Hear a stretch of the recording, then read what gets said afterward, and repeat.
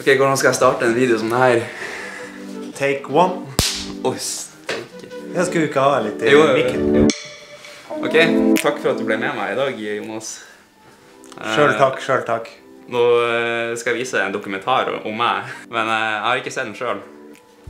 Jeg har, hørt, jeg har hørt mye om det, men jeg har venta med å se. Ja, jeg har fått bra kommentarer fra dem som har sett den.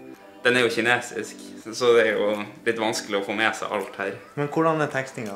Er det ikke teksting? Det er ikke tekst. Oh, ja, ok.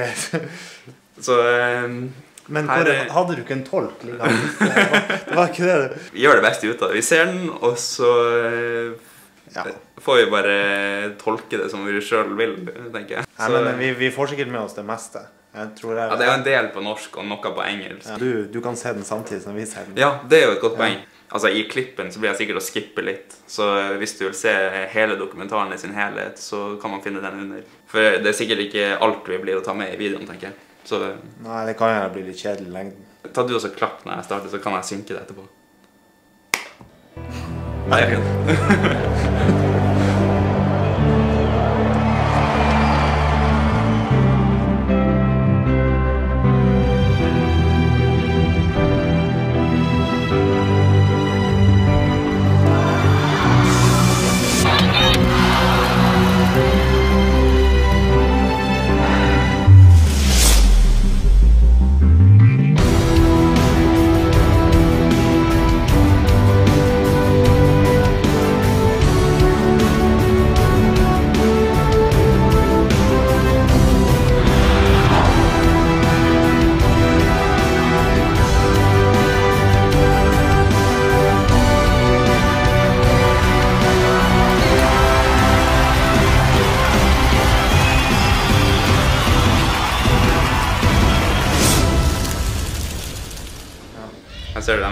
几天前，跳台滑雪运动员约翰 Så er det tekster. Ja, det der skjønner jeg ingenting av. Å ja, det var det han sa, ja. 极圈内，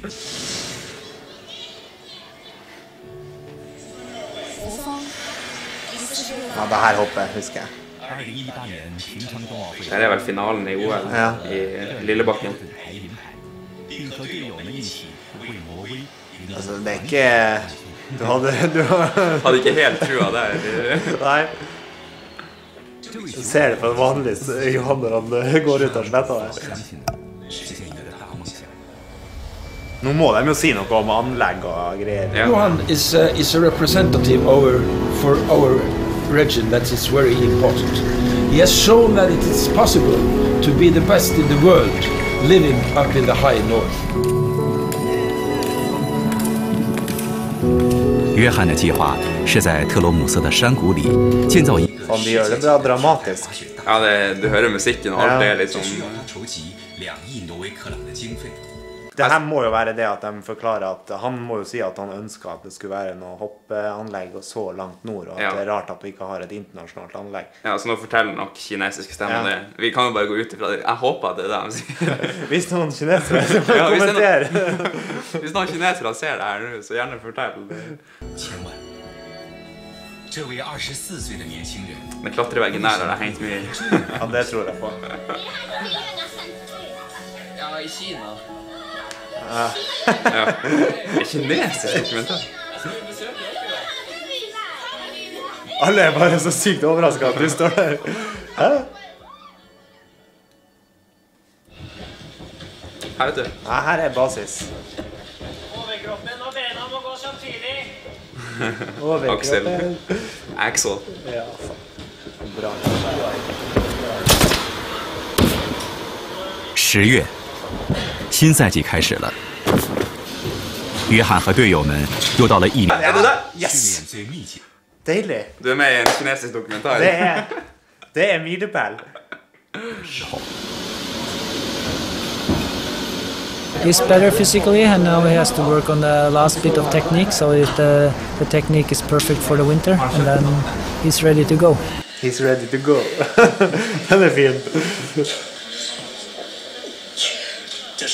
caroline oh.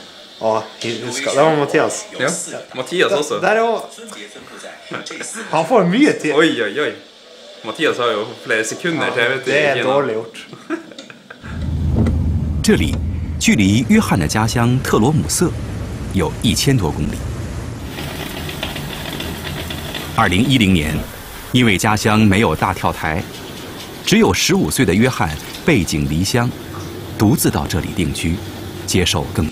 Syns de at du hadde veldig sånn dedikert kaffelaging, liksom? Eller var det der normalt? Jeg tror altså, de er litt mer på te ofte, Ja. eh, kineserne. De fleste reagerer jo litt på at du står i flere minutter og brygger en kopp. Ja. Men de er jo vant fra te, da. Det har du rett i. We have uh, competitions in Japan, all around in Europe. So I get to travel, but not in like uh, free time. Then I'm usually just uh, wanting to be home and relax here.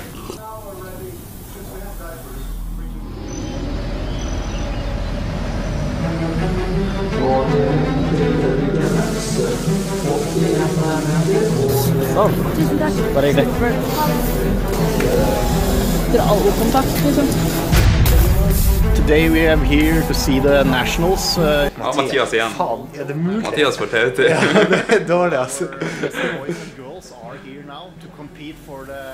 Klaseren står og gjør det dramatisk. Ja, ja. ja. Flink, det.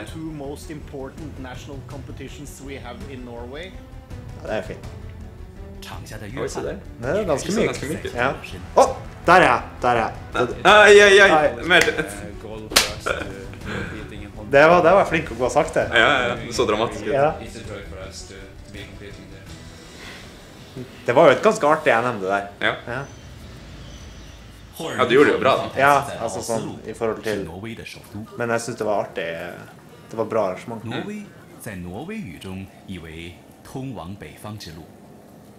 Jeg skulle gjerne forstått hva han sa. Ja, vet du, det det må være noe Jeg går ut ifra at de forteller litt om Oslo. Ja, og at det er en veldig fin idrettsby, på en måte, sånn sett.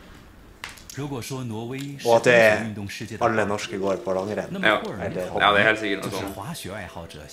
Og må det ja, ja, nå, nå skjønner jeg hva som skjer. Det blir noe historie. Ja litt om ja. Eh, gammel historie om Oslo. Men Holmenkollen er jo sjukt gammel. Ja. ja. det er jo litt sånn Ja, det er garantert det han snakker om her nå. Ja, 1952. Eh, OL i Oslo. Ja. Det er sjuke bilder. Altså. Ja, det der, er, det, der må, det der må faktisk vises. Ja. ja.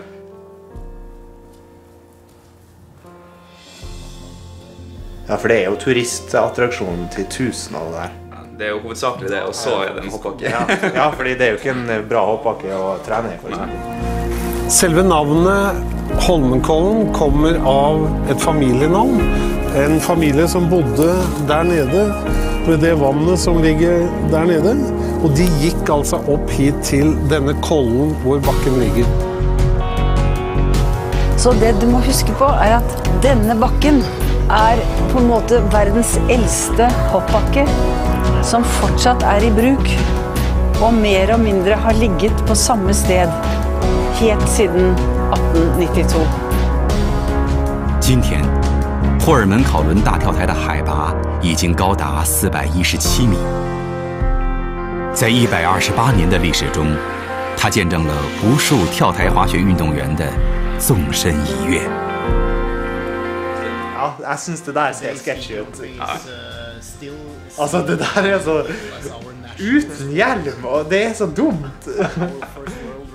Men jeg skjønner jo at de hopper når det er så mye folk der. Altså, Det er jo så sinnssykt mye folk. Ja, det er helt Altså- latterlig. Det er jo 100 000 tilskuere. Ja. Liksom. Er det 9,5 i stil? Det kan- Ingen det som kan- vet. det It has developed quite much uh, last uh, centuries. Uh, now the world record is 253 Ja, meters. 9,5 meter. Ja, det har du rett i. Var det Varsi som sprang i bakgrunnen? Det kan hende. Her er jo Buge, ja. Ja, ja. Linus og vet du, det, det er som å se hele slekta. Oi, se her, ja. Kineserne må lure på hva Ja. i alle dager er det de driver med her og Nei, det, stikker en pinne opp mellom beina på jeg, lurer, jeg lurer på hva de sier. I believe that ski jumpers in general they are seeking for adrenaline. 所有的动作必须在十秒之内完成，五秒钟内速度达到每小时九十公里。起跳时每三度的角度偏差最终落地距离就会相差十米。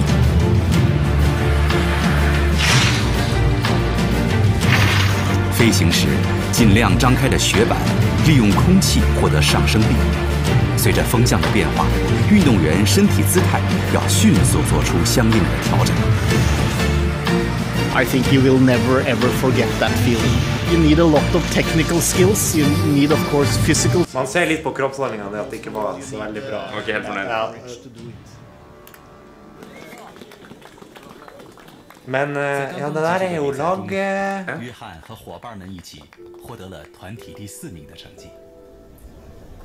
Men Det der er jo fint. Der har det, vet du. Ja, der har Og Varsi, ja. Det er godgutta. Vi har lange tradisjoner. Nå prøver vi å få the venue her i eh, Tromsø så vi kan gjøre further memories og progress som a sport i Norge. Vi er jo ganske mange, så vi burde jo få et tannlegg. Ja, jeg synes det. Og vi har produsert ganske mye bra skihoppere. Så nå er det på her er vi i Tromsø. da. Pappa, vet du. Det er mye takket være han jeg sitter her. takket være han jeg også sitter her. Bra jobba, pappa.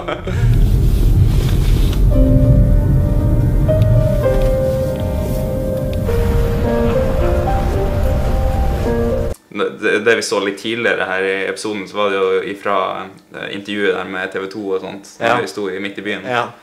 Og da snakka vi om eh, at eh, i Oslo så var det sommer, liksom, og det skulle være hopprenn og, og sånt. Og så, og oppe i Tromsø så var det her været, ja. og vi har ikke hoppbakke. Så da, da liksom litt det, var, det der er ganske sjukt. Hva tror vi han sier her? Nei, at det er en unik by med kjempefint eh, mye snø. Her, vet du. Pappa ute og måker. Han har mokka en del der i vinter. 爸爸雨果是公路管理局的工程师，妈妈安福瑞德在市政厅当会计。如果不是因为他们的第一个孩子，也就是约翰的哥哥丹尼尔，这个家庭可能不会与职业跳台滑雪运动产生任何。 det der er et bra bilde, altså. Og så broder. Og så har du Han er så karakter, far din. Åh. Den bak. Eh, Daniel var tolv år og skulle delta i et mesterskap på langrenn. da. Um, og pappa, altså meg, jeg skulle smøre skiene, og det ble ikke bra. Så Den kom han tida sitt. i mål og sier det her og gråter. Ser det her var ikke noe gøy. Skulle aldri mer gå langrenn. Smart. Ja, lurt. Vi eh, måtte prøve å trøste han, fant ikke så veldig mye.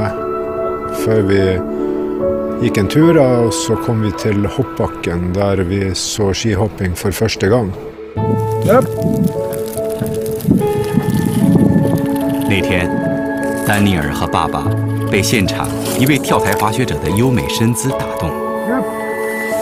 小丹尼尔用了两天时间思考，然后决定要成为一名跳台滑雪运动员。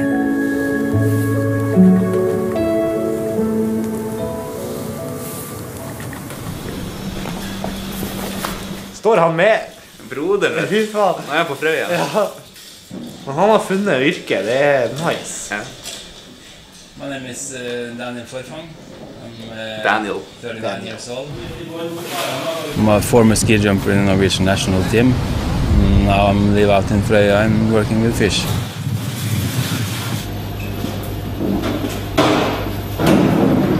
一九九五年，就在约翰出生一个月后，因为家乡没有大跳台，训练条件无法满足需要，Men også, han skal jo sløye fisken. Det ser ut som han gjør jobben. Ja, han gjør jo det, ja. Styrer sjappa. The distance is uh, 1,300 kilometer. When you're home with your parents, it's so safe and everything, and uh, to move to a bigger town alone, it's quite challenging. Forfang hadde 197,5 i prøveomgangen. 212 i går, som er eh, beste noteringen. 国内顶尖俱乐部的训练，让丹尼尔的职业道路逐渐走向巅峰。104移居特隆赫姆的第八年，二十四岁的丹尼 er pent. 接连登上了 er mye legender på linja. I, bakkene. Hårsveisen var avtalt på laget i hvert fall. på landslaget på det tidspunktet da jeg vokste opp. Da, og det var liksom det som gjorde at jeg var eh, inspirert til å at jeg hadde lyst til å bli skihopper da, pga. storebror. Var det ikke blåst for mye, da? Ja, nå er det stille, stille og fint. ute. Ja. Men nå skal vi ha hoppbakke her, vet du. Ja. De, de tok én, to Jeg betalte dem etterpå. Ja, du betalte. Jeg heter Odd Steinar Ellingsen. Legende på barneskolen. Ja. Her er jo bakken jeg har vokst opp Men i. så han jobb, Nei, han var på skolen når du gikk på skolen der òg? Ja. Han var ikke så grå i håret da, men, men den bakken her har jeg lagd så mye hoppbakker.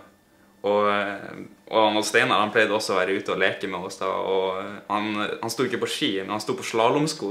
Han hadde slalåmsko på seg, så hadde han teipa med sportstape under. Nei. Så sto han på nedover her i hundre og helvete. Sjukt! På, med- på bare liksom old school slalåmsko. Ja, det er jo sånn der eh, Blades, nesten. Ja, det, det var helt Det er bare verre på snøen. da. Så han var jo forbilde til tusen da vi var små. da.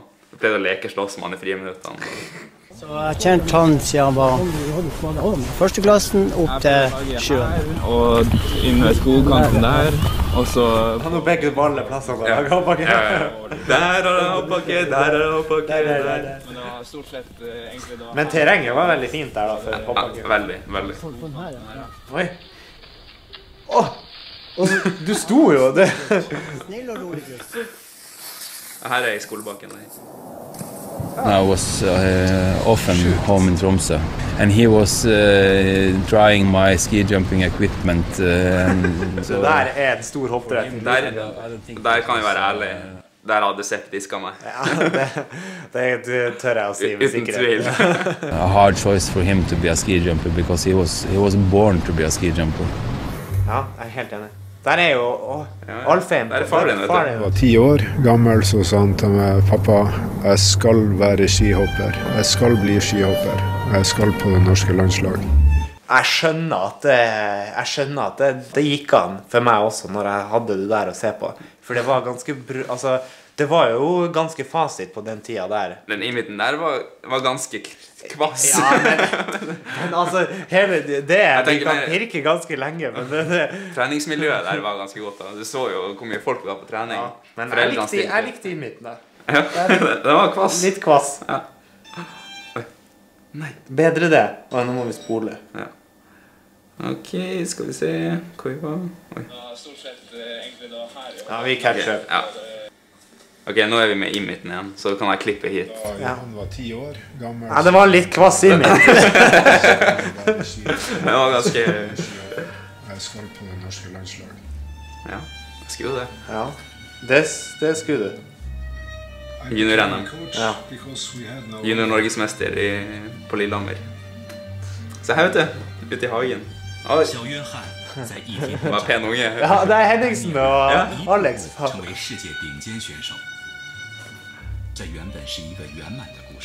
Pent bilde også. ja. Det ser litt likhet ut. Jamsis nedslag. Det er for dårlig, Daniel. Ja. Han var kjekkest, da. Fryktelig kjekk. Han ser, det ser jo rått ut. 2006. Litt morratryne oppi lyskålen der. Ja, han var nok tidlig økt. I titida.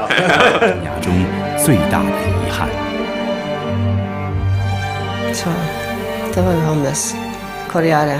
Så fikk en brå slutt, for å si det sånn. Det var jo utrolig tøft for både han og, og oss med tanke på alt vi hadde ofra. Hva han hadde ofra opp igjennom mm, hele ungdomstida si.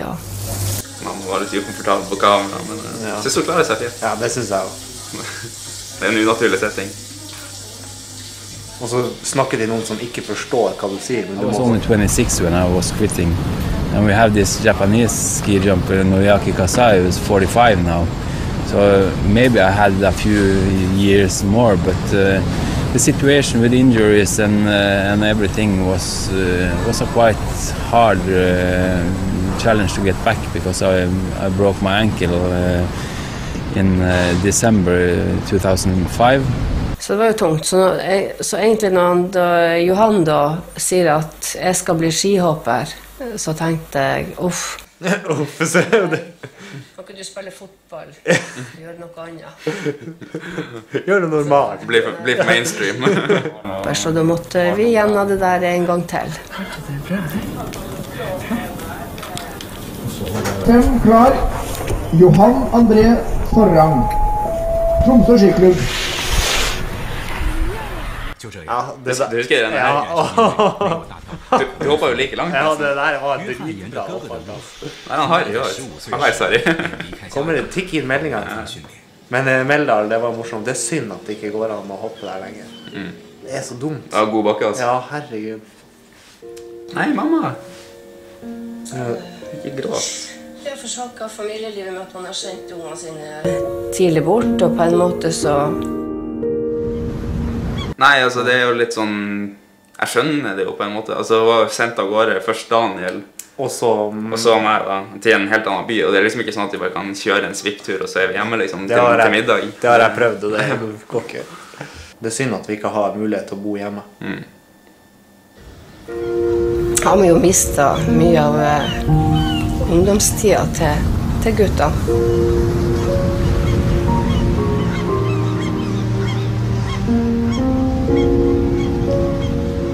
His mission is uh, he has uh, sacrificed a lot. He has left his family, his friends, and all. And um, they. Sorry. Sorry. Ja, men han er jo lei seg for at han ikke klarte å altså få, Han føler at han ikke får fram alt han vil si. Bra reklame her. Ja. Ja. Det, Det var som Det er planla. Ja. That's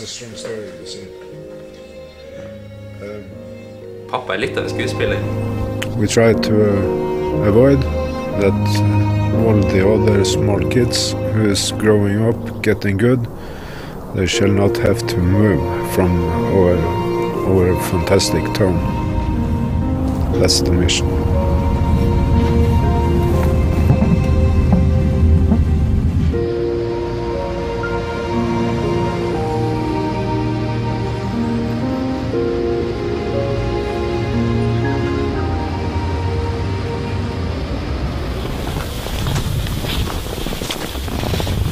This here is a cross-country slope.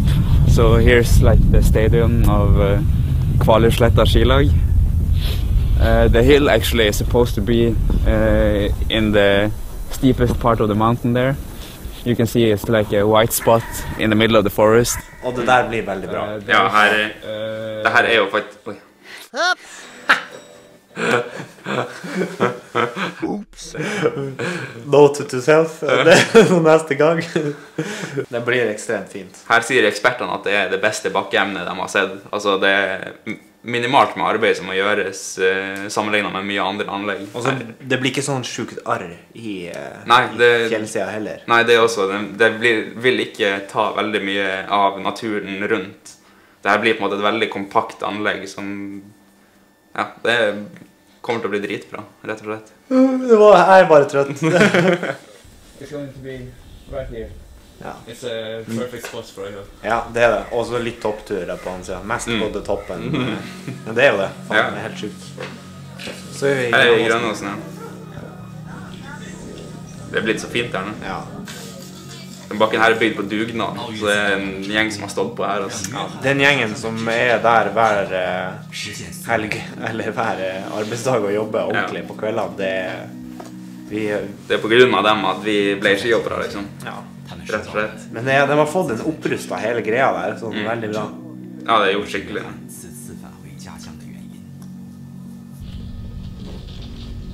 Det her er gode minner.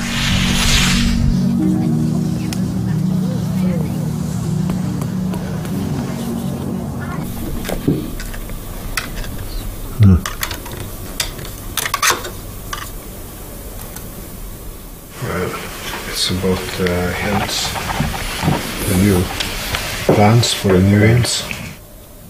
Her er tegningen av bakken. 像这样奥运会级别的跳台建设，需要大约两亿挪威克朗的 Ja, pressemøte, planlegging eh. that the project has started. But uh, then it's a way to go to have all this uh, money to raise it. Sjarmerende engelsk på, på pappa der. Jeg har nok ikke så mye bedre sjøl. Sjarmerende. Det er norsk-engelsk. Det er fint. Her på pressekonferansen som jeg kalte inn til min første pressekonferanse. Sjukt nice. I klubbhuset der på, ved siden av bakken. mye mer bærekraftig enn eh, et hoppanlegg som The most important is that we can give young boys and girls uh, ability to live out their dreams uh, uh, concerning ski jumping at their home place here in Tromsø, and uh, and we we really need it in this part of Norway. Her til Frøy og går med rett i monitor. Det det er bra, bra jobba, brorsan. After I retired, I, I didn't watch that much uh, ski jumping on television and stuff. After he was uh, starting to get in the national team, competing in the World Cup, travel around, uh, I see everything on television. I'm uh, on internet on this live tracking just to watch his. Han er på der, altså. Ja, han er- han får med seg alt. Men det skjønner jeg også. Jeg har full forståelse for at han ikke orker når han var Mm. ferdig. Ja, Vi har jo masse unge gutter og jenter her i Tromsø som kanskje hadde blitt eh, enda bedre skihoppere hvis de hadde fått lov til å vært hjemme, og at vi ikke trengte å sende dem bort når de Jeg la merke til det. Hva faen er det Theo gjør? Theo! Det der er ikke greit. Midt i beste sendetid i kino. Hæ? That's uh, inappropriate. 15 år. Også. Det er, det er jo en drøm å kunne se han Johan hoppe i minne og sol her oppe.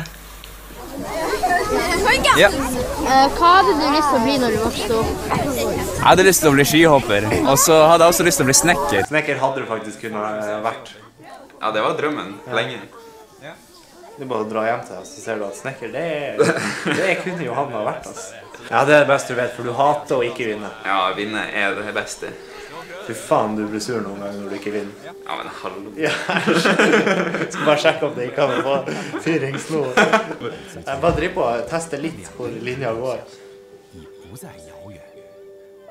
Ja, men det der var fint. Det var veldig mange som hadde lyst til å stille spørsmål. Ja. 为更好的运动环境做贡献。 Det her kan jeg, altså jeg husker så godt tida mi sjøl på skolen her. 会不会有人像小约翰 Så jeg kan liksom se for meg det å være en blant de ungene der. Det er, ikke, det er liksom ikke lenge siden det kjennes ut som. De der har jo hele livet foran seg. Det blir sånn fil- filosofisk Ja, her. sant. I always uh, have been loving the sport and uh, loving my hometown. Of course, it's one big goal for me to to bring uh, those things together, the, both the sport and the, and my home home city. Det er drømmen hans. Invitere hjem til verdenscup. Her skulle man jo leid inn uh, Above Media. Ja, da hadde klippet blitt litt bedre. Nei, da var det over. Dette var det. Det var en ganske bra avslutning her med tanke på at eh, de valgte å bruke droneklipp som avslutning, og at de, du rakk å si at du, det mitt ønske er å invitere til World Cup Hjemme i Tromsø, ja. hjemme i Tromsø. Ja, det Jeg syns det var en veldig bra lagd dokumentar. Jeg, jeg kan virkelig stå bak den her. Ja, nei, jeg er helt enig. Jeg syns du, du blir framvist på en bra måte. Og så er det veldig bra laga. Mye bra statister som var rundt i Men eh, altså, jeg syns det var en bra dokumentar. Ja, takk. Så det der eh, Eller takk, det er jo ikke jeg som har lagd den. Nei, det er du som har levert innholdet til Hvis dere vil se hele uten at vi driver og skravler over, så kan jeg linke, eh, linke under her. Og så må vi gi tommel opp hvis du vil se meg mer i vloggene hans. Ellers får ikke jeg være med, for det var det som var avtalen. og det Dårlig, dårlig business. Litt eh, tomler opp, eh, det setter vi pris på. Det fortjener vi alle. Takk for at du var med, Ja. og så eh, takk for at dere så på. Og så husk å like, og gjerne subscribe på kanalen. Ha det. Det, det tror jeg ble en fin video. Det tror jeg ble bra. Du leverer. Så alltid. Jeg håper han tok opp.